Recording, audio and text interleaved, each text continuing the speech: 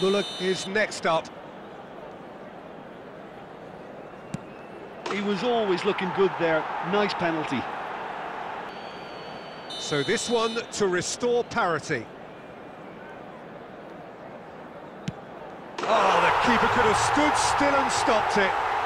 Superb spot kick. Sane is the second man to step up for his team.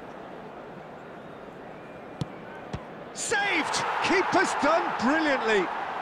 Dembele is the third man to step forward.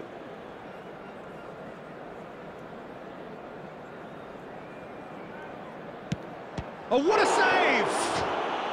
Oh, the keeper's done brilliantly. Hofmann will take the third penalty.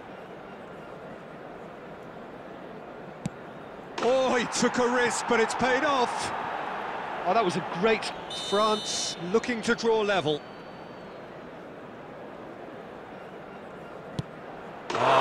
Oh, calm as you like. Pick your spot, don't change your mind. Havertz comes up, their fourth taker. Great stop, keeper's denied him. He was so focused there. Diaby is the fifth volunteer.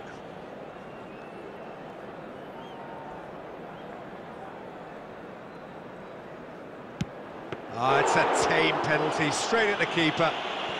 Oh, that was... So can he be the hero?